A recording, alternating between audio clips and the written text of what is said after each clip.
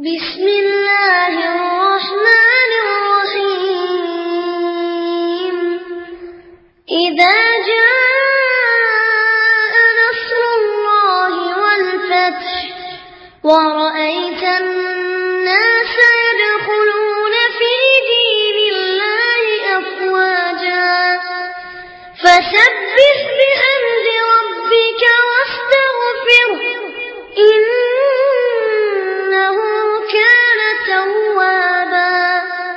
அஸ்லாம் வலைக்கம் கண்ணியத்திற்குரிய எல்லாம் வல்ல அல்லாஹுடைய நல்லடியார்களே இஸ்லாமிய மார்க்கம்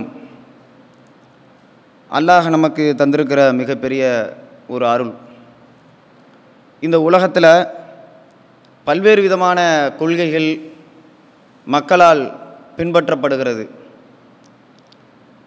ஆனாலும் இந்த உலகத்தில் மனிதர்களுக்கு வழிகாட்டக்கூடிய ஒரு கொள்கையாக நபிகள் நாயகம் ஸல்லல்லாஹு அலுவலாம் அவர்கள் இந்த உலகத்திற்கு எடுத்துரைத்த இஸ்லாமிய மார்க்கம் இருந்து வருகிறது. இந்த மார்க்கம் வலியுறுத்துகிற ஒவ்வொரு அமல்களையும் இந்த உலகத்தில் நாம் செயல்படுத்துகிற பொழுது அதற்கான கூலி. வல்ல இறைவன் நாளை மறுமையிலே நமக்கு வழங்குவான் என்கிற நம்பிக்கையின் அடிப்படையில் இந்த உலகத்தில் நம்முடைய நற்காரியங்களை நாம் அமைத்து வருகிறோம். நம்முடைய நற்காரியங்களை எல்லாம் வல்ல அல்லாஹ் பொருந்தி கொள்வானாக. இந்த உலகத்தில் நம்ம செய்யக்கூடிய ஒவ்வொரு நல்லறத்திற்கும் மறுமையில் அதற்கான பரிசுகள் நமக்கு கிடைக்கும். அப்படி என்று நம்பிக்கொண்டு இந்த உலகத்தில் செயல்படுத்தக்கூடிய முஸ்லிம்கள் ஒரு முக்கியமான அமல்களை மறந்தவர்களாக இந்த உலகத்தில் வாழ்ந்து கொண்டிருக்கக்கூடிய காட்சியை நாம் பார்க்க முடிகிறது. அதே நேரத்தில் அந்த அமலை அலட்சியப்படுத்தியும் இந்த உலகத்தில் முஸ்லிம்களில் சிலர் வாழ்ந்து கொண்டிருக்கிற காட்சியை நாம் பார்க்கிறோம். அது என்ன அமல் என்று சொன்னால் இந்த உலகத்தில் மனிதர்களாக இருக்கிற நம்ம இறைவன் எந்த நோக்கத்திற்காக படைத்தானோ அந்த நோக்கத்தை நிறைவேற்றுகிற ஒரு அமல். அது என்ன அமல்? அல்லாஹ் திருமறை குரானில் சொல்லி காட்டுகிறான் இந்த உலகத்தில் மனிதர்களை படைத்ததனுடைய நோக்கமே என்னை வணங்குவதற்காக. அப்போ இந்த உலகத்தில் நம்ம நல்லறம் செய்யணும்னு ஆசைப்படுறோம் நல்லறத்தை செய்யக்கூடியவர்களாக இருக்கிறோம். நல்லறங்கள் செய்தால் மறுமையில் அதற்கான பரிசு நமக்கு கிடைக்கும் கூலி கிடைக்கும். அப்படி என்பதற்காக வேண்டி பல்வேறு தியாகங்களை செஞ்சும் நம்ம நல்லறம் செய்கிறவங்களா இருக்கிறோம் இந்த உலகத்தில். அப்போ நம்ம நல்லறம் செய்யக்கூடிய நம்ம இடத்துல எந்த விதமான அமல் முன்னணியில் இருக்கணும்? எந்த விதமான அமலை நம்ம விட்டு விடாமல் செய்யணும்? எந்த விதமான அமலை அலட்சியப்படுத்தாமல் இந்த உலகத்தில் நம்ம தொடரணும்? மரணம் வரைக்கும் தொடரணும். அப்படின்னா இறைவன் நம்மை எந்த நோக்கத்திற்காக இந்த உலகத்தில் படைச்சானோ அந்த நோக்கத்தை நாம் நிறைவேற்றக்கூடியவர்களாக இருக்கணும். அந்த நோக்கத்தினுடைய அமலை நாம் சரியாக செய்யக்கூடியவர்களாக இருக்கணும். அந்த நோக்கத்தினுடைய அமலை நாம் தொடர்ச்சியாக பேணக்கூடியவர்களாக இருக்கணும். அது என்ன அந்த அமல் அப்படின்னா இறைவனை வணங்குவது. இறைவனை வணங்குவதற்குத்தான் நாம் படைக்கப்பட்டிருக்கிறோம். அப்படி என்கிற பொழுது அந்த வணக்கத்தை நாம் எந்த காலத்திலையும் எந்த நேரத்திலையும் நம்ம விட்டுவிடக்கூடியவர்களாக இந்த உலகத்தில் வாழ்ந்துடக்கூடாது. எதற்காக அப்படின்னு சொன்னால் இந்த உலகத்தில் பல கொள்கைகள் இருக்கிறது. பல்வேறு கொள்கைகள் இருக்கிறது. ஆனாலும் இஸ்லாமிய மார்க்கம்தான் சிறந்தது அப்படிங்கிறத நம்ம வந்து பிறப்பின் அடிப்படையில் நம்ம பின்பற்றலை. முஸ்லீம்களாக இருக்கக்கூடியவர்கள் இந்த அமல்களை நற்காரியங்களை வந்து செய்வதில் முன்னணியாக இருக்கக்கூடியவர்கள் அந்த நல்ல அமலை வந்து தியாகம் செஞ்சியும் அவ செய்வதற்கு தயாராக இருக்கக்கூடிய முஸ்லிம்கள் இந்த உலகத்தில் இஸ்லாமிய மார்க்கத்தை பின்பற்றுகிறார்கள் என்று சொன்னால் பிறந்ததற்காக வேண்டியெல்லாம் இந்த மார்க்கத்தினுடைய கொள்கையை பின்பற்றுவது இல்லை. மது குடிக்கிறது இன்றைக்கி வந்து சர்வசாதாரணமாக இந்த உலகத்தில் இருக்குது. ஒரு பள்ளிக்கூடத்தில் ஆறாம் கிளாஸ் படிக்கிற மாணவன் கூட இன்றைக்கி மது குடிக்கிறான். ஆனால் இன்றைக்கி மது குடிப்பது என்பது இஸ்லாமிய மார்க்கத்தில் தடை செய்யப்பட்டிருக்கிறது. முஸ்லிம்களாக இருக்கக்கூடிய மக்களை பாருங்கள் வணக்க வழிபாடுகளில் பின்பற்றக்கூடிய மனிதர்களை பாருங்கள் இறைவன் மீது நம்பிக்கை வைத்து அந்த கடமையான விஷயங்களை நிறைவேற்றக்கூடிய முஸ்லிம்களை பார்த்தீர்கள் என்று சொன்னால் அவங்க வந்து மது குடிக்கிறத வந்து தடுத்து வைத்திருக்கிறார்களா இல்லையா? மதுவை வந்து நம்ம குடிக்கக்கூடாது. அப்படின்னு சொல்லி மதுவனுடைய பக்கமே அவங்க போகாமல் இருக்கக்கூடியவர்களாக இருக்கிறாங்களா இல்லையா? இதெல்லாம் என்ன காரணம் அப்படின்னு சொன்னால் இறைவன் இந்த விஷயத்தை தடுத்திருக்கிறான் மதுவை. அதனால் நம்ம இந்த மதுவான மது பழக்கத்துக்கு நம்ம அடிமையாகி விடக்கூடாது. அந்த தவறை நம்ம செஞ்சிடக்கூடாது. அப்படின்னு சொல்லி அந்த தவறிலிருந்து அவர்கள் வ- மீண்டு வருகிறார்கள் என்று சொன்னால் அந்த தவறை செய்யாமல் இருக்கிறார்கள் என்று சொன்னால் இந்த மார்க்கம்தான் அவர்களை வழிநடத்துகிறது வட்டி வாங்கி இன்னைக்கு எத்தனையோ பேர் தொழில் செய்கிறாங்க அதனால் வந்து நிறைய லாபம் கிடைக்கும். முதலீடை நம்மளே கையில் வச்சுக்கிட்டு ஒரு வியாபாரத்தை செய்ய வேண்டிய அவசியம் இல்லை. ஒரு பேங்கில் போய் ஒரு லோன் எடுத்து நம்ம என்ன செஞ்சிடலாம்? அந்த வியாபாரத்தை நம்ம நடத்தலாம். அதன் மூலமாக அந்த வட்டியை கட்டிடலாம் அப்படின்னு சொல்லி வட்டியை மூலதனமாக கொண்டு வியாபாரம் செய்யக்கூடிய காட்சியை நம்ம பார்க்குறோமா இல்லையா? ஆனால் முஸ்லிம்களில் பெரும்பாலானோர் என்ன செய்கிறாங்க வட்டியை வாங்கி அவங்க தொழில் செய்வதை இவர்கள் விரும்புவக்கூடியவர்களாக இல்லை. அந்த மாதிரியான தொழில் எனக்கு தேவையில்லை. முதலீடு என்ன இருக்குதோ அதை வச்சு நான் வியாபாரம் செய்கிறேன் அப்படின்னு சொல்லி அந்த மாதிரி வியாபாரத்தை தேர்ந்தெடுத்துக் கொள்கிறார்கள். கோடிக்கணக்கில் பணம் வைத்திருக்கிற செல்வந்தரை பாருங்கள் முஸ்லீம்களில். நம்மள்ட்ட தான் பல கோடி இருக்குது. அதனால் நம்ம வட்டிக்கு கொடுத்து பொழப்பு நடத்துவோம் அப்படின்னு சொல்லி எந்த முஸ்லீமாவது வட்டி கொடுக்குறாங்களா? அப்படி பார்க்க முடியாது. பல கோடி ரூபா வைத்திருக்கக்கூடியவர்கள் கூட ஃபைனான்சியர்களாக இருக்கிறார்கள். நம்ம சமூகத்தில் பார்க்குறோம். மற்ற மற்ற சமூகத்தில் முஸ்லீம்கள் அப்படி இருக்கிறாங்களான்னு சொன்னால் அப்படி இல்லை. அப்போ நடைமுறையில் நீங்கள் பார்க்கலாம் முஸ்லீம்களை ஒப்பிட்டு பார்க்கும் பொழுது பார்க்கலாம். இயற்கையாகவே அவர்கள் தவறு செய்யக்கூடியவர்களாக இல்லை. அந்த தவறிலிருந்து மீண்டு வெளியில் வரக்கூடியவர்களாக தவறின் பக்கம் செல்லாதவர்களாக இருக்கிற காட்சியை பார்க்குறோமா இல்லையா? இன்றைக்கி தொலைக்காட்சியில் நீங்கள் பார்த்தீங்கன்னு சொன்னால் கூட ஒரு செய்தி வாசிக்கிறாங்க. என்ன வாசிக்கிறாங்கன்னா தமிழ்நாட்டில் ஒரு பள்ளிக்கூடத்தில் பெண்கள் எல்லாரும் உட்காந்து கூட்டாக மது குடிக்கிறாங்க. அதை வீடியோ எடுத்து ஃபேஸ்புக்கில் வெளியிடுறாங்க. எல்லாம் வந்து பொம்பளை பிள்ளைங்க.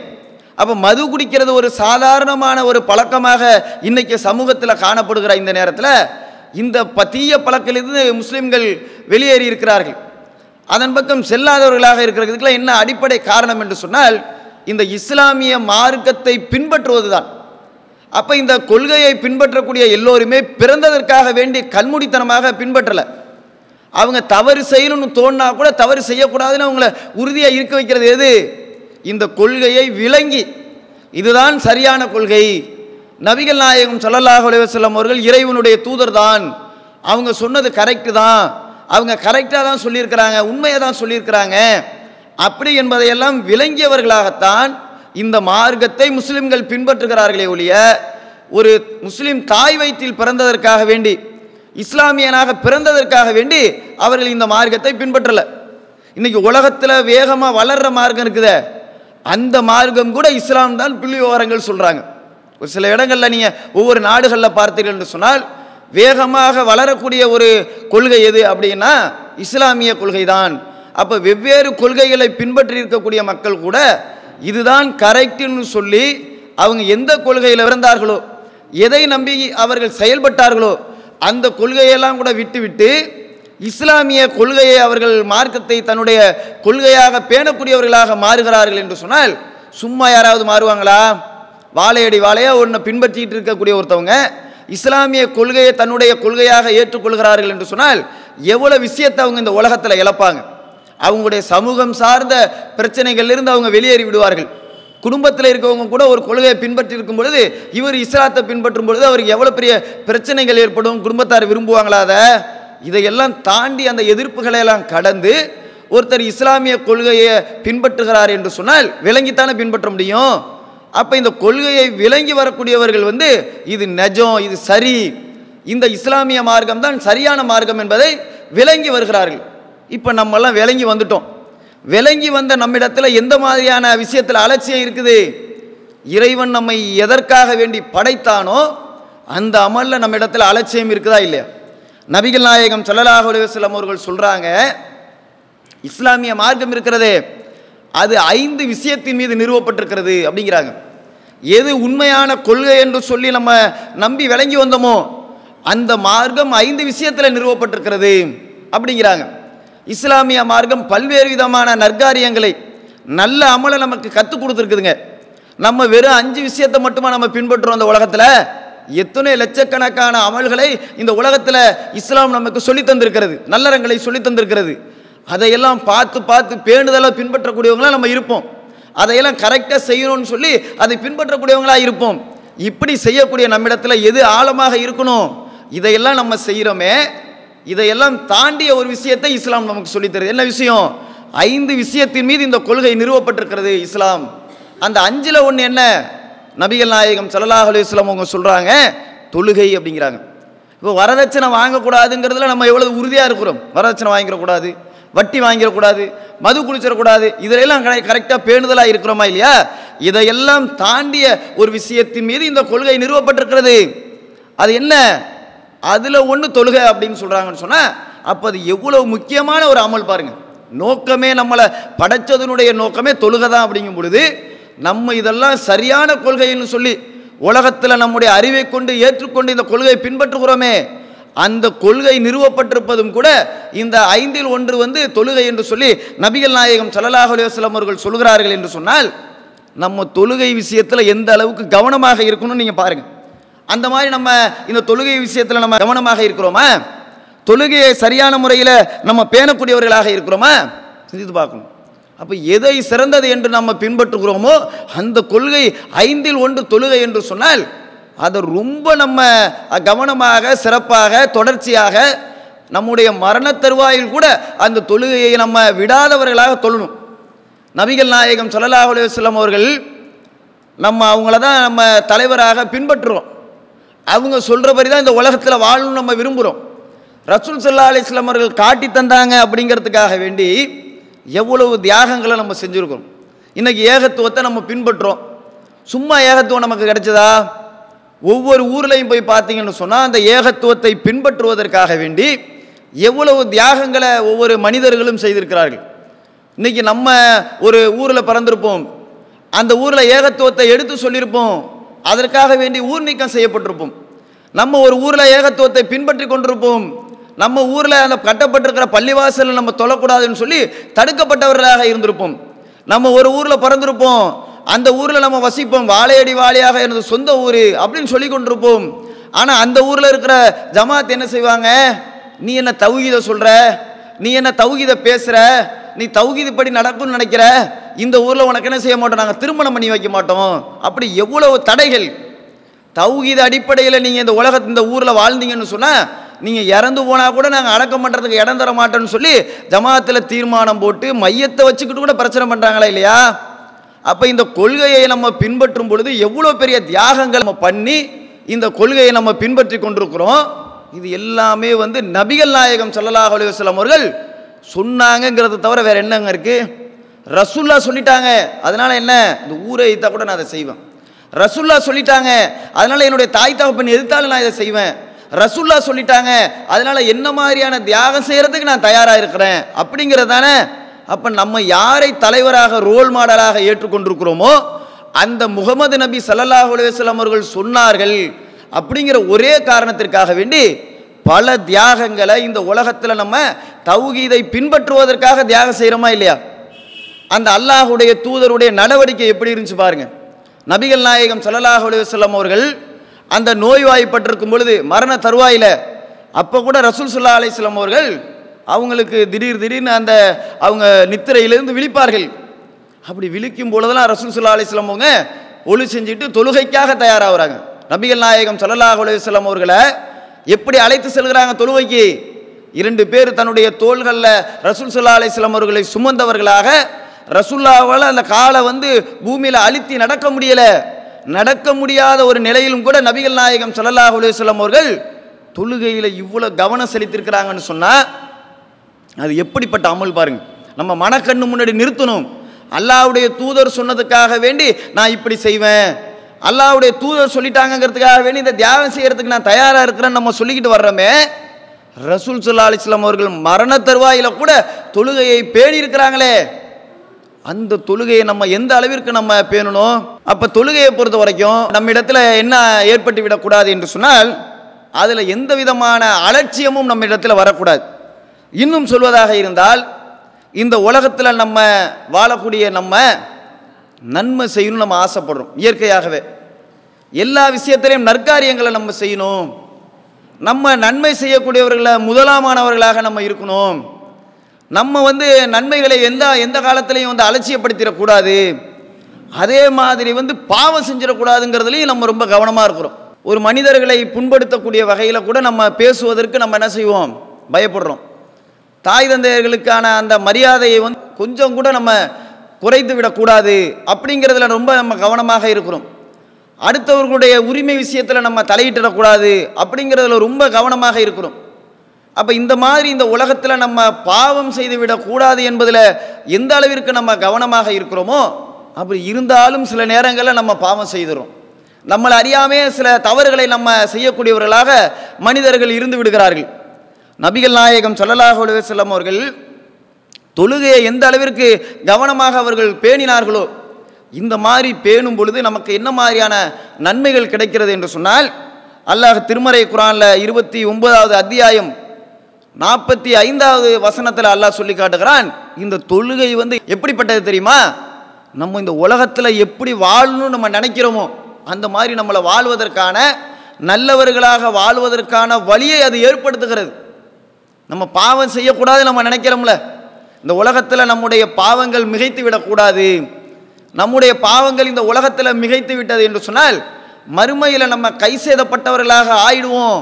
அதனால் நம்ம பாவம் செய்தவர்களாக இந்த உலகத்தில் நம்ம மரணிச்சிடக்கூடாது என்பதற்காகத்தான் எல்லா விதமான தியாகங்களை நம்ம செய்கிறோம் நல்லற அதிகரிக்கணும். நம்மளை அறியாமல் நம்ம தவறு செய்திருந்தாலும் கூட இந்த நன்மைகள் நம்ம நாளை மறுமையில் அந்த கனமாக இருக்கணும் அப்படிங்கிறதுக்காக வேண்டி பல்வேறு நல்லறங்களை நம்ம செய்யக்கூடியவர்களாக இருக்கிறோம். ஆனால் நம்ம பாவம் செய்யாமல் இருக்கக்கூடிய தடுக்கக்கூடிய ஒரு விஷயமாக அல்லாஹ் திருமறை குரானில் சொல்லி காட்டுகிறான். இந்த தொழுகை தான் இருக்குங்கிறான். பாருங்கள் பாருங்க. நம்ம நல்லது செய்கிறதுல எந்த மாதிரியான கவனம் செலுத்துகிறோமோ அதே மாதிரி தீமையின் பக்கம் செல்லாமல் இருக்கக்கூடிய விஷயத்தை நம்ம பேணணுமா இல்லையா? அதை அல்லாஹ் திருமறை குரானில் நமக்கு எப்படி கற்றுத்தருகிறான்? அதாவது இந்த தொழுகை என்பது தொழுகையை நீங்கள் நிலைநாட்டுங்கள். தொழுகை வெட்கக்கேடான மானக்கேடான காரியங்களை விட்டும் தீமை இருக்குது அதை விட்டும் தடுக்கும் அது.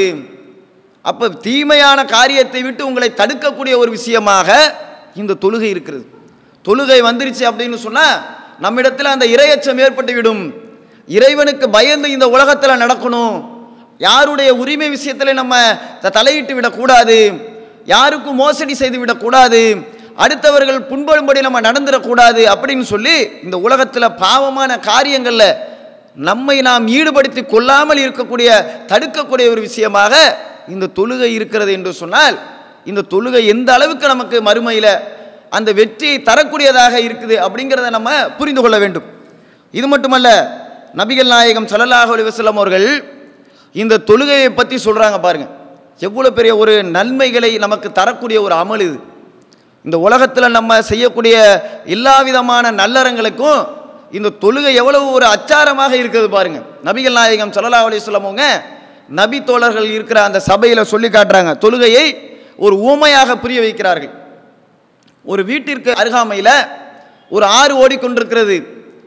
அந்த ஆற்றுல அவர் என்ன செய்கிறாரு ஒவ்வொரு நாளும் அஞ்சு நேரமும் ஒரு குளிச்சுட்டு வர்றார். அப்படி குளிச்சார் அப்படின்னு சொன்னால் அவருடைய உடலில் அழுக்கு இருக்குமா? அப்படின்னு சொல்லி சகாபாக்கள்கிட்ட நபிகள் நாயகம் ஸல்லல்லாஹு அலைஹி அவர்கள் கேட்குறாங்க.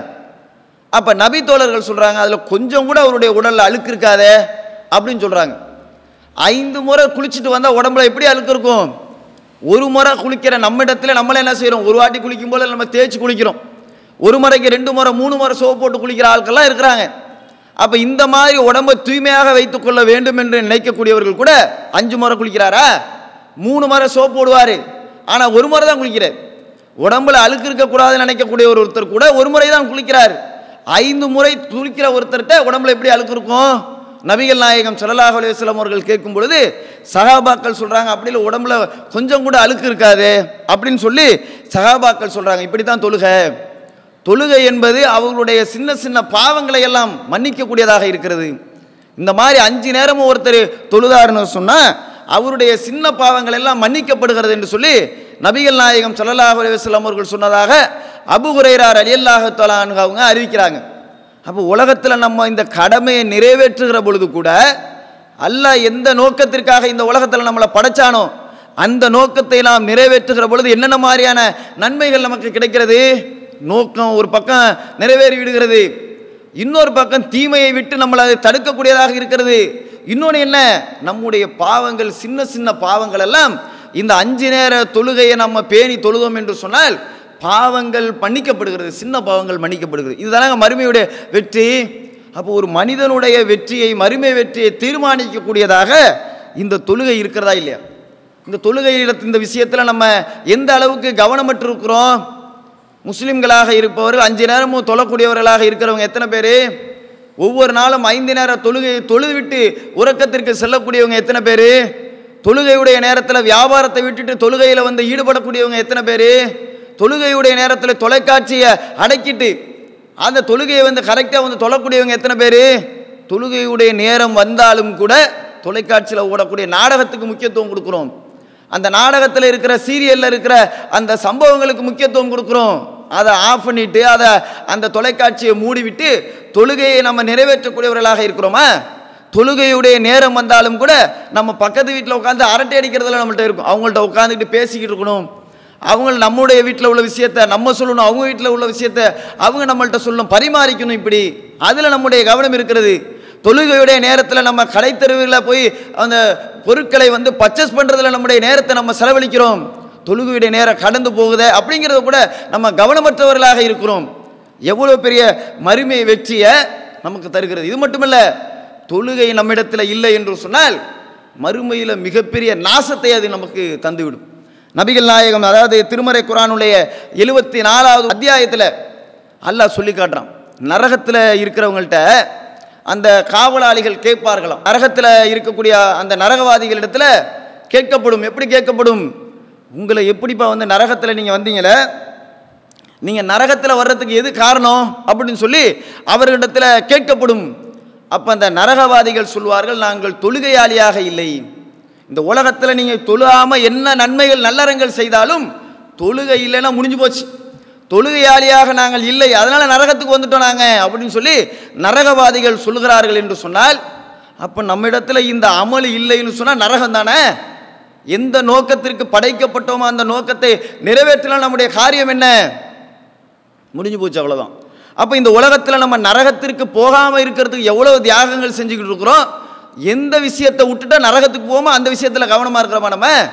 அந்த தொழுகையில் நம்ம இடத்துல பேணுதல் இல்லாதவர்களாக இந்த உலகத்தில் நாம் வாழக்கூடிய காட்சியை பார்க்கிறோம். நபிகள் நாயகம் ஸல்லல்லாஹு அலைஹி அவங்க அதுக்கு தான் சொல்லி காட்டுறாங்க. இந்த தொழுகை என்பது சாதாரண விஷயம் இல்லைங்க. அதாவது ரசூல் சல்லா அலிஸ்லாம் அவர்கள் சொன்னதாக அபுஹுரைரா ரலி அல்லாஹு தாலானுங்க அவங்க அறிவிக்கிறாங்க. மறுமை நாளில் ஒரு ம ஒரு மனிதனிடத்தில் அல்லாஹ் விசாரிப்பான். அப்படி விசாரிக்கும் பொழுது நபிகள் நாயகம் சல்லாஹ் அலைஹி அவர்கள் சொல்கிறார்கள் மறுமையில் ஒரு அடியானிடத்தில் அவனுடைய செயல்களை பற்றி அல்லாஹ் விசாரிக்கும் பொழுது முதலாவதாக கேட்கப்படக்கூடிய கேள்வி என்ன தெரியுமா? தொழுகையை பற்றி தான் இருக்கும். அப்போ தொழுகையை பற்றி அல்லாஹ் நம்ம நாளை மறுமையில் இதை பற்றி விசாரிக்க இருக்கிறான்னு சொன்னால் எவ்வளோ பெரிய முக்கியமான அமல் இது? நீ கடன் கொடுத்த கடன் வாங்கினியா? கடன் கொடுத்த கடனை விட்டு கொடுத்தியாங்கிறதெல்லாம் அப்புறம். நீ செய்யக்கூடிய இந்த விஷயத்தில் இந்த மாதிரி இறையச்சத்தோடு நீ நடந்தியாங்கிறதெல்லாம் அப்புறம். ஆனால் அல்லாஹ் முதல்ல கேட்குற அந்த கேள்விகளில் இந்த ஒரு கேள்வியாக இருக்கிறது. என்ன கேள்வி? அந்த அடியானுடைய தொழுகையை பற்றி அல்லாஹ் விசாரிப்பான். மறுமை நாளில் விசாரிக்கப்படும். அந்த விஷயம் சரியாக இருந்தால் அவன் வெற்றி பெற்று விட்டான். அப்படின்னு சொல்லி நபிகள் நாயகம் சொல்லா அலிஸ்லாம் அவங்க சொல்கிறாங்க நம்மிடத்தில் நாளை மறுமையில் இந்த இதை பற்றி விசாரிக்கும் பொழுது இது நம்மிடத்தில் சரியாக இருந்தால் அந்த தொழுகை விஷயம் சரியாக இருந்தால் நம்ம வெற்றி பெற்று விட்டோம்னு சொல்லி அல்லாஹுடைய தூதர் சொல்கிறாங்கன்னு சொன்னால் இப்போ புரியுதா? நரகவாசிகள்கிட்ட வந்து கேட்கப்படும் பொழுது அவங்க சொன்னாங்களே பதில் என்ன சொன்னாங்க? நாங்கள் தொழக்கூடியவர்களாக இல்லை. இப்போ நாளை மறுமையில் இடத்த நம்மிடத்தில் இந்த கேள்வி கேட்கப்பட்டால் நம்மிடத்தில் என்ன மாதிரியான பதில் இருக்கிறது? தொழுகையை பற்றி அவர்களிடத்தில் கேட்கப்படும் பொழுது அதற்கான ஆன்சர் இல்லை அப்படின்னு சொன்னால் அவன் நஷ்டமடைந்தவனாக ஆகிவிடுவான்னு சொல்லி நபிகள் நாயகம் ஸல்லல்லாஹு அலைஹி அவர்கள் அறிவிப்பதாக அபு அலி அல்லாஹு தாலானு அவங்க அறிவிக்கிறாங்க. அது திருமீதியில் முன்னூற்றி எழுபத்தி எட்டாவது செய்தியாக பதிவு செய்யப்பட்டிருக்கிறது.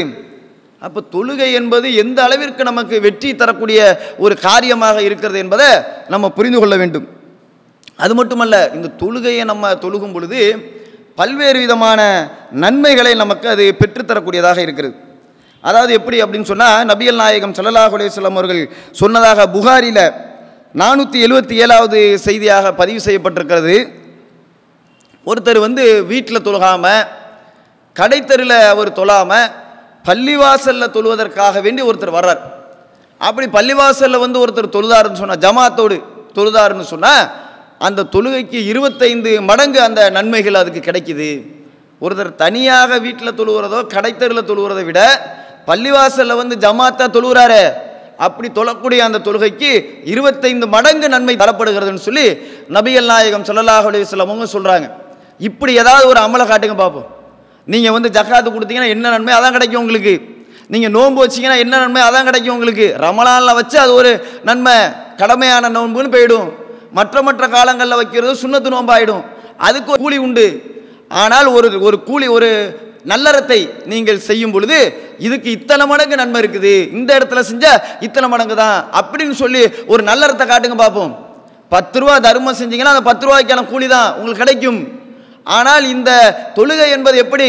எந்த காலத்தில் வேண்டுமானாலும் ஜமாத்தோடு நீங்கள் தொழுவிட்டீர்கள் என்று சொன்னால் அதை நீங்கள் தனியாக தொழுதை விட ஜமாத்தோட தொழுதிங்களா பள்ளிவாசல்ல.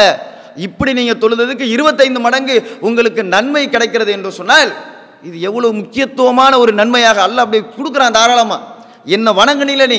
இப்படி வணங்குறதுக்காக வேணும் உனக்கு நான் அந்த கூலியை வந்து இப்படி நான் வாரி வழங்குகிறேன்னு சொல்லி அல்லாஹ் வள்ளல் தன்மையோடு இந்த கூலியை தர்றான்னு சொன்னால் எவ்வளோ பெரிய முக்கியமான ஒரு ஒரு வணக்கம் இது. அது மட்டுமல்ல நபிகள் நாயகம் சொல்லலாஹ் அலுவலாம் அவர்கள் சொல்கிறார்கள் தொழுவதற்காக வேண்டி ஒருத்தர் அவர் பள்ளிவாசலை நோக்கி விரைந்து வருகிறார். அதுதான் அவருடைய எண்ணமாக இருக்குது. அந்த நிலையில் ஒருத்தர் பள்ளிவாசலை நோக்கி வர்றாரு அப்படின்னு சொன்னால் அவர் எடுத்து வைக்கக்கூடிய ஒவ்வொரு எட்டுக்கும் அவர் எடுத்து வைக்கக்கூடிய ஒவ்வொரு எட்டுக்கும் அவருடைய அந்தஸ்தை அல்லாஹ் உயர்த்துகிறான். இந்த உலகத்தில் நம்முடைய அந்தஸ்து உயர்தோ இல்லையோ? அல்லாஹ் உயர்த்தக்கூடிய அந்தஸ்து எப்படிப்பட்டதாக இருக்கும்? மறுமையில் நமக்கு கிடைக்கக்கூடிய ப- அந்த அந்தஸ்து இருக்கிறதே அதானங்க பெரிய அந்தஸ்து? இந்த உலகத்தில் நமக்கு ஒரு அந்தஸ்து கிடைக்கலன்னா கூட அதெல்லாம் பெரிய நட்டமா அது? அதனால எந்த நட்டமும் நமக்கு கிடையாது ஆக போகிறது இல்லை ஆனால் மறுமையில் நட்டம் அதான் பெரிய நட்டம். அவர் தொழுகைக்காக வேண்டி இந்த உலகத்தில் அவர் பள்ளிவாசலை நோக்கி நல்ல முறையில் ஒளி செய்தவராக பள்ளிவாசலை நோக்கி அவர் நடந்து வர்றாரு. அப்படி நடந்து வரக்கூடிய ஒவ்வொரு எட்டுக்கும் அவருடைய அந்தஸ்தை அல்லாஹ் உயர்த்துகிறான். இவ்வளோ பெரிய சிறப்பு இது. அது மட்டுமல்ல நபிகள் நாயகம் சல்லாஹ் அலுவலம் அவர்கள் சொல்கிறார்கள் அவர்களுடைய பாவங்கள் வந்து மன்னிக்கப்படுகின்றன அப்படின்னு சொல்லி நபிகள் நாயகம் சல்லாஹ் அலுவலம் அவர்கள் சொல்லிவிட்டு பள்ளிவாசலில் அமர்ந்தவராக தொழுகையை எதிர்பார்த்தவராக ஒருத்தர் அமர்ந்திருக்கிறாரே அப்படி அவர் அமர்ந்திருந்தார் என்று சொன்னால் அவர் தொழுதுகிட்டு இருக்கிறவராகவே கருதப்படுவார். இந்த மாதிரி ஒரு அமலை இந்த உலகத்தில் நீங்கள் பார்க்க முடியுமா? நம்ம ஒரு காரியத்தை செஞ்சு முடித்தாதான் அதுக்கு கூலி. ஆனால் இந்த தொழுகையில் அல்லாஹ் எவ்வளோ பெரிய நன்மைகளை வாரி வழங்குறான் பாருங்க. அல்லாஹ் தன்னுடைய வள்ளல் தன்மையை இந்த தொழுகையில் காட்டுறான் பாருங்க. நீ வந்து ஜமாத்தா தொழுத இருபத்தஞ்சு மடங்கு நன்மை. போ அப்படிங்கிறான். நீ நடந்து வந்தீன்னு சொன்னால் உன்னுடைய அந்தஸ்தை நான் வந்து உயர்த்துறேன் அப்படிங்கிறான். அதே மாதிரி அல்லாஹ் என்ன சொல்கிறான் நீ உன்னுடைய பாவத்தை நான் மன்னிக்கிறேன் அப்படிங்கிறான். அதே மாதிரி அல்லாஹ் சொல்லி காட்டுகிறான் நீங்கள் வந்து அந்த பள்ளிவாசலில் வந்து தொழு தொழுவதற்காக வேண்டி எதிர்பார்த்து நீங்கள் அமர்ந்திருந்தீர்கள் என்று சொன்னால் தொழுத மாதிரி உங்களுக்கு அந்த நன்மைகளை நான் தந்துடுறேன் அப்படின்னு சொல்லி நபிகள் நாயகம் சல்லா அலைஹி அவர்கள் சொல்லிவிட்டு அவர் அந்த பள்ளிவாசலில் அமர்ந்திருக்கிற நேரம் வரைக்கும் அவருக்காக வேண்டி வானவர்கள் பிரார்த்திக்கிறார்கள். எவ்வளோ பெரிய இந்த தொழுகையில் எவ்வளோ பெரிய சிறப்பு அல்லாஹ் வந்து நமக்கு தந்திருக்கிறானே இந்த சிறப்புக்குரிய அமலை நம்ம தொடர்ச்சியாக நம்ம செய்கிறோமா இந்த சிறப்புக்குரிய அமலை நம்ம சரியாக செய்யணும் அப்படிங்கிறதுல ரொம்ப கவனமாக இருக்கிறோமா? சிந்தித்து பாருங்க. அது மட்டும் இல்லைங்க இந்த தொழுகை என்பது எந்த அளவிற்கு நன்மையான காரியங்களை நமக்கு பெற்றுத் தருகிறது அப்படின்னு சொன்னால் நபிகள் நாயகம் ஸல்லல்லாஹு அலைஹி அவர்கள் சொல்லி காட்டுகிறார்கள் தொழுகையை நீங்கள் தொழுதீங்கன்னு சொன்னால் அது உங்களை வந்து சொர்க்கத்தில் கொண்டு போய் சேர்த்துரும். எப்படி கொண்டு போய் சொர்க்கத்தில் சேர்க்கும்? ரசூல் சுல்லா அலிஸ்லாம் அவர்கள் சொன்னதாக திருமீதியில் பதிவு செய்யப்பட்டிருக்கிறது. மக்கள் தூங்கும்போது தொழுங்கள். இதனால் சொர்க்கத்திற்குரியவர்களாக நுழைந்து விடுங்கள் சொல்லி நபிகள் நாயகம் சுல்லா அலிஸ்லாம் அவங்க சொல்கிறாங்க மக்கள் தூங்கிக்கிட்டு இருக்கிற அந்த நேரத்தில் இறைவனை நினைத்தவர்களாக எழுந்து அந்த இரவு நேரத்தில் நம்ம தொழுது தொழுகிறோம்னு வச்சுங்க இப்படிப்பட்ட தொழுகைக்கு என்ன மாதிரியான கூலியை இறைவன் தருகிறான்? தொழுத அந்த நன்மை அப்படின்னு சொல்லி எல்லாம் சொல்கிறானா இந்த நேரத்தில் நீங்கள் தொழக்கூடிய இந்த தொழுகைக்கு நான் உங்களுக்கு சொர்க்கத்துக்கு நான் அனுப்புகிறேங்கிறான் இல்லை. சொர்க்கத்திற்குரியவர்களாக நீங்கள் நுழைந்து விடுங்கள் சொர்க்கத்துக்கு போயிடுங்க அப்படின்னு சொல்லி நபிகள் நாயகம் ஸல்லல்லாஹு அலைஹி வஸல்லம் அவர்கள் சொன்னால் இந்த எவ்வளோ பெரிய இலகுவாக சொர்க்கம் செல்வதற்கான நன்மைகளை இந்த அமல் நமக்கு காட்டுது. இந்த அமலை நம்ம என்னைக்கு இந்த இந்த இத்தனை ஆண்டு காலத்தில் எத்தனை நாளைக்கு நம்ம மக்கள் தூங்கும்போது இருந்து தொழுதுருப்போம்? எல்லாரும் தொழுகிறாங்களேங்கிறதுக்காக வேண்டிய ரமலாலாம் வரும் அவ்வளோதான் யாருமே விளையாடலாம் ரமலான் நம்ம எந்திரிச்சுன்னு தொழுவோமா? யாருமே பள்ளியாசலுக்கு வரல தொழுவுறதுக்கு. நம்மளும் வந்து தொழுவோமா? போன மாதம் தொழுதோமா? அதுக்கும் போன மாதம் தொழுதோமா? கிடையாது. அப்போ இந்த இரவு நேரங்களில் நம்ம தொழக்கூடிய அந்த இரவு தொழுகை இருக்கிறத மக்கள் தூங்குற அந்த நேரத்தில் அந்த நேரத்தில் நாம் தொழக்கூடிய இந்த தொழுகைக்கு நமக்கு சொர்க்கத்துக்கு செல்வதற்கான வாய்ப்பை அல்லாஹ் இந்த தொழுகையில் வைத்திருக்கிறான் என்று சொன்னால் அந்த அமுல் நம்மளிடத்தில் தொடர்ச்சியாக இருக்கணுமா இல்லையா? அது மட்டுமல்ல நபிகள் நாயகம் சல்லல்லாஹ் அலைஹி அவங்க பிலால் ரலி அல்லாஹு தலான்னு அவங்கள்ட்ட கேட்குறாங்க அதான் வந்து நீங்கள் இந்த இஸ்லாத்துக்கு வந்த பிறகு நீங்கள் செஞ்ச செயலே ரொம்ப சிறப்புக்குரிய ஒரு செயல் என்னப்பா? அப்படின்னு சொல்லி பிலால் ரலி அல்லாஹு தலானு அவங்கள்ட்ட கேட்கும் பொழுது பிலால் ரலி அல்லாஹு தலானு அவங்க சொல்கிறாங்க அல்லாஹுடைய தூதரிடத்தில் அல்லாஹுடைய தூதரை நான் எப்போதெல்லாம் ஒளி செய்வனோ அப்போல்லாம் ரெண்டு ரகாயத்தை நான் தொழுதுருவேன். நான் ஒளி செய்கிற பொழுதெல்லாம் நான் தொழுதுருவேன் சொல்லி பிலால் ரலி அல்லாஹு அவங்க சொல்லும் பொழுது அல்லாஹுடைய தூதர் சொல்கிறாங்க சொர்க்கத்தில் வந்து உன்னுடைய செருப்பு ஓசையை நான் கேட்டேன். அப்படின்னு சொல்லி நபிகள் நாயகம் ஸல்லல்லாஹு அலையம் அவர்கள் சொல்கிறார்கள் என்று சொன்னால் சொர்க்கத்தில் அவங்களுடைய செருப்பு ஓசை கேட்க கேட்கக்கூடிய வகையில் ஒரு அமலை இந்த உலகத்தில் அவங்க சிறப்பாக செஞ்சுருக்கிறாங்க. அந்த அமல் என்ன? அவங்க ஒளி செய்யும் பொழுது தொழுகிறாங்களே அந்த தொழுகை தான் அப்போ தொழுகை மூலமாக அவங்க வந்து சொர்க்கத்தில் அவங்க இருக்கிறாங்க அப்படிங்கிறது மாதிரியான நபிகள் நாயகம் ஸல்லல்லாஹு அலைஹி வஸல்லம் அவர்கள் சுட்டி காட்டுறாங்க அது மட்டுமல்ல சொர்க்கத்தில் வீடை நமக்கு தர்றதா ஒரு அமலை சொல்லி தர்றாங்க. ஒரு விஷயத்தை சொல்கிறாங்க என்ன அப்படின்னா தொழுகை தான். யார் ஒருவர் தினமும் ஒவ்வொரு நாளும் பனிரெண்டு ரக்காயத்துகள் சுண்ணத்தை அந்த பகலில் சுண்ணத்தான தொழுகையை நிறைவேற்றுகிறாரோ அவருக்கு இறைவன் வந்து சொர்க்கத்தில் ஒரு மாளிகையை தருகிறான் அப்படின்னு சொல்லி நபிகள் நாயகம் ஸல்லல்லாஹு அலைஹி சொல்கிறாங்க அப்போ தொழுகை மூலமாக எவ்வளோ பெரிய சிறப்பை பாருங்கள் சொர்க்கத்தில் மாளிகைக்கு தர்றதுங்கிறதெல்லாம் ஒரு சாதாரண விஷயம் அது? இந்த உலகத்தில் ஒரு வீட்டை வாங்குறதுக்கே ஒருத்தன் என்ன செஞ்சிடறான்? பல ஆண்டுகளை கழிக்கிறான். பல தியாகங்களை செய்கிறான் பல செலவுகளை எல்லாம் செய்யாமல் சேமித்து அவன் அந்த வீட்டை வாங்குறதுக்கு அவன் அவ்வளோ சிரமப்படுறான். சொர்க்கத்தில் வீடு வாங்குறதுனா அல்லாட்ட வந்து இந்த மாதிரி ஒரு பூமியை கொண்டு போய் அல்லா இடத்துல கொடுத்து இல்லை பூமி நிறைய செல்வத்தை கொண்டு போய் அல்லா இடத்துல கொடுத்து அல்லா எனக்கு இந்த சொர்க்கத்தில் இந்த இடத்த கூறான்னு அல்லா கொடுத்துருவானா? நம்ம இப்போ வச்சுருக்குறோம் அந்த பெரிய அந்த பில்டிங் ஃபுல்லாக வெறும் தங்கத்தை நிரப்பி எல்லா இடத்துல கொண்டு போய் கொடுத்து எல்லாம் அந்த ஒரு பில்டிங் ஃபுல்லாக தங்கம் இருக்குது. நீ இதை வச்சுக்கிட்டு எனக்கு சொர்க்கத்தில் ஒரே ஒரு வீட்டை கொடுறான்னு நல்லா கொடுத்துருவானே? கிடைக்காது. அப்போ இந்த உலகத்தையே கொண்டு போய் அல்லாட்ட கொடுத்து இந்த சொர்க்கத்தில் இடத்த கொடுறானா கூட அல்ல தரமாட்டான். அல்லாஹ் சுவனத்தில் ஒரு வீட்டை நமக்கு தருகிறான் என்று சொன்னால் அது எவ்வளோ பெரிய விஷயம்? அந்த வீட்டை நாம் எதன் மூலமாக பெறுகிறோம்? நபிகள் நாயகம் சல்லா அலிஸ்லாம் அவர்கள் சொல்கிறார்கள் பகலில் வந்து பன்னிரெண்டு ரக்காயத்துகள் நீங்கள் சுண்ணத்தான தொழுகை நிறைவேற்றுகிற பொழுது அந்த சொர்க்கத்தில் உங்களுக்கு இறைவன் அந்த வீட்டை தருகிறான் அப்படின்னு சொல்லி நபிகள் நாயகம் சல்லா அலைஹி சொல்கிறாங்க அது என்ன பன்னெண்டு ரக்காயத்து அப்படின்னு சொன்னால் ஃபஜ்ருடைய முன் சுன்னத்து இரண்டு ரக்காயத்து. அதே மாதிரி லுகருடைய முன் சுன்னத்து நான்கு ரக்காயத்து. பின் சுண்ணத்து இரண்டு ரக்காயத்து. மகரிவுடைய பின் சுண்ணத்து இரண்டு ரக்காயத்து. இசாவுடைய பின் சுண்ணத்து இரண்டு ரக்காயத்து. இப்படி பனிரெண்டு ரக்காயத்து சுண்ணத்தான தொழுகையை நீங்கள் தொடர்ச்சியாக நிறைவேற்றும் பொழுது இறைவன் சொர்க்கத்தில் உங்களுக்கு வீட்டை தர்றான் அப்படின்னு சொல்லி நபிகள் நாயகம் ஸல்லல்லாஹு அலைஹி அவர்கள் சொல்கிறார்களே நம்ம இந்த சுண்ணத்தான வணக்கங்களையெல்லாம் கரெக்டாக பயின்றோமா சுண்ணத்தான அமல்களை நம்ம சரியான முறையில் தொழக்கூடியவர்களாக நம்ம இருக்கிறோமா? சிந்திச்சு எவ்வளோ பெரிய நம்ம சாதாரணமாக கருதுகிறோம் சுன்னத்தான தொழுகை என்பதெல்லாம் அற்பமாக நாம் கருதி கொண்டிருக்கிறோம். அப்படி கிடையாது. அதில் அவ்வளோ பெரிய சிறப்புகளை நபிகள் நாயகம் ஸல்லல்லாஹு அலைஹி அவர்கள் சொல்கிறார்கள் ரெண்டே ரெண்டு செய்தியை சொல்லிட்டு முடிச்சிடுறேன். ஃபஜ்ருடைய சுண்ணத்தை பற்றி ரசூல் சல்லா அலிஸ்லாம் அவர்கள் சொல்லும்பொழுது எப்படி சொல்கிறாங்க ஃபஜ்ருடைய சுண்ணத்தான முன் சுன்னத்தை யார் ஒருத்தர் தொழுகிறாரோ அப்படி அவர் தொழுதார் அப்படின்னு சொன்னால் உலகத்தில் உள்ளதை விட சிறந்தது அப்படிங்கிறாங்க ரசூல் சல்லா அலிஸ்லாம் உலகத்தில் உள்ளதை விட சிறந்த ஒரு விஷயம் என்ன? அது அந்த ஃபஜ்ருடைய முன் சொன்னதுங்கிறாங்க ரசூல் ஸல்லல்லாஹு அலிஸ்லாமுங்க அவ்வளோ பெரிய கூலி அதுக்கு இருக்குது. உலகத்தில் உள்ளதை விட சிறந்ததுன்னா என்ன? உலகத்தில் எவ்வளோ பெரிய செல்வங்கள் இருக்குது? இதெல்லாம் நமக்குரியதாக இப்போ ஆயிட்டு. இப்போ மண்ணடியில் வச்சிருக்கிற ஒவ்வொருத்தங்களும் வச்சிருக்கக்கூடிய பில்டிங்லாம் நமக்கு சொந்தமாயிட்டு. மண்ணடியில் உள்ள வச்சிருக்கக்கூடிய செல்வம்லாம் இப்போ நமக்கு சொந்தமாயிட்டு. இதை விட சிறந்தது எது? இன்னைக்கு ஃபஜ்ரில் ரெண்டு ரகாயத்து முன் சொன்ன தொழுதோம்ல அதான். உலகத்தில் நீங்கள் பார்க்குறீங்க எவ்வளோ பெரிய நாடு பணக்கார நாடுகளாக இருக்குது. இதை விடையெல்லாம் சிறந்தது என்ன? இந்த ம- முன் சுண்ணத்து ரெண்டு ரகாயத்தை நீங்கள் தொழுதீங்களா அது அப்படின்னு சொல்லி நபிகள் நாயகம் ஸல்லல்லாஹு அலைஹி அவர்கள் சொல்கிறார்கள் என்று சொன்னால் இந்த சுண்ணத்தை நம்ம பேணி தொழுதுருக்குறோமா? எவ்வளோ அலட்சியப்படுத்தலாம் கூலி இல்லாமல் இருக்கிறதுக்கெல்லாம்? மறுமையில் இதுக்கெல்லாம் மகத்தான கூலி இருக்கிறது. அது மட்டுமல்ல நபிகள் நாயகம் ஸல்லல்லாஹு அலைஹி அவர்கள் நரகத்திலிருந்து தடுக்கிற ஒரு அமலை சொல்லித் தர்றாங்க. தொழுகை என்பது அப்படிப்பட்டது. சுண்ணத்தான ஒரு அமலை சொல்லித் தருகிறார்கள்.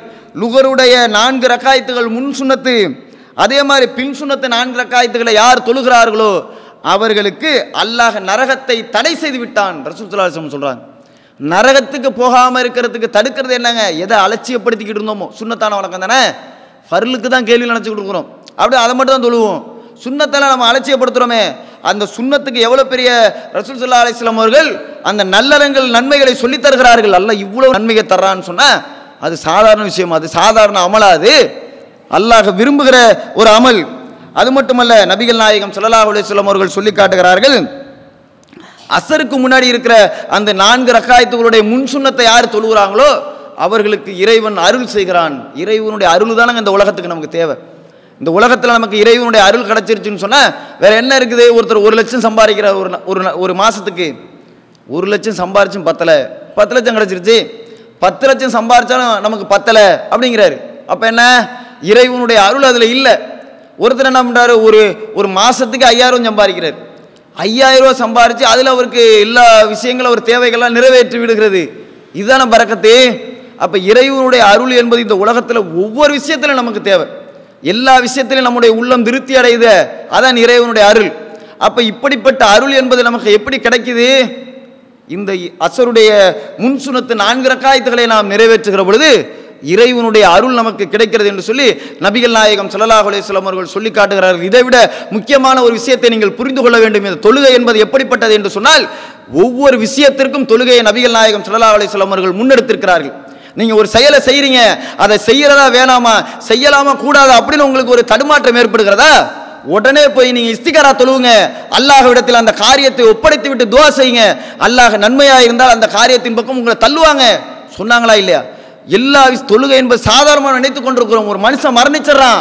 அவனுடைய இறுதியாக இறுதியாக அவனுக்கு செய்யக்கூடிய பிரார்த்தனை இந்த தொழுகை தான் ஜனாசா தொழுகை தான் அப்படி இந்த தொழுகையை நபிகள் நாயகம் சல்லா அலைஹி அவர்கள் முன்னிறுத்திருக்கிறார்கள் ஒரே பஞ்சமாயிடுது ஊரே.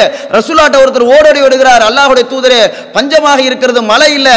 எங்களுக்கு மழை வேணும்னு அல்லாஹ்விடத்துல தோசைங்கன்னு கேட்குறாங்க அல்லாஹுடைய தூள திடலில் போய் மழை வேண்டி தொலை சொன்னாங்க. இந்த தொழுகை என்பது அப்படிப்பட்ட ஒரு காரியமாக இருக்கிறது. ஒரு மனிதனுக்கும் தன்னுடைய இறைவனிடத்தில் நெருக்கத்தை ஏற்படுத்தி தரக்கூடிய ஒரு அமலாக இருக்கிறது. அந்த அமலை நாம் அலட்சியப்படுத்தி விடக்கூடாது அல்லாஹுடைய தூதர் தன்னுடைய மரண தருவாயில் கூட தொழுகை எந்த அளவிற்கு பேணி தொழுதார்களோ அந்த மாதிரி இந்த வணக்கத்தை இந்த அமலை நாம் அலட்சியப்படுத்தாமல் நம்முடைய வாழ்நாள் முழுவதும் அந்த தொழுகையை நாம் பேணக்கூடியவர்களாக நிறைவேற்றக்கூடியவர்களாக நம் அனைவரையும் அல்லாஹ் ஆள வைப்பானாக என்று சொல்லி எனது உரையை நான் முடித்துக் கொள்கிறேன். அஸ்லாம் வலைக்கிறோம் தொலைபர்காத்தும் Allah